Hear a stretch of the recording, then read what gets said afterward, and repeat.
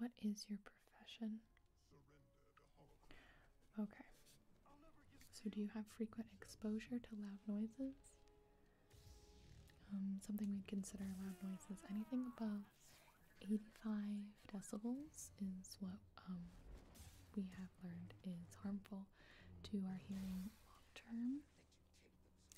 So, something like a quiet library might ring in at about 30 decibels, um, a lawnmower around 90, so that's in the high zone, um, and then you have like a loud concert um, at like 120 or so.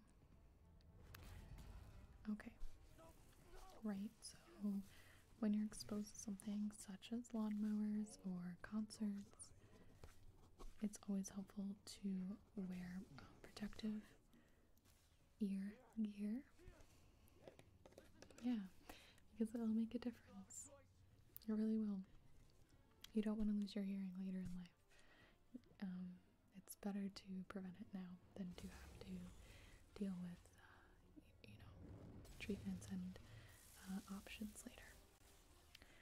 Okay, have you ever had any incidents, um, any singular incidents of very loud noises such as uh, explosions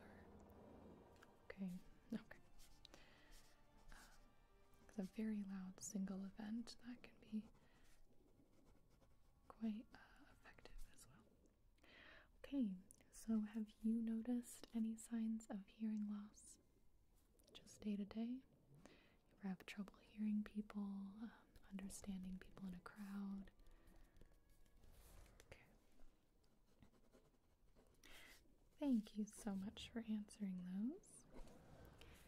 You did a great job.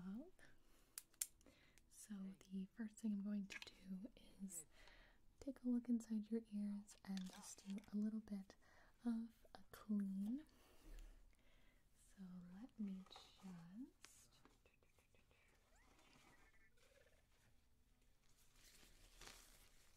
get some gloves here.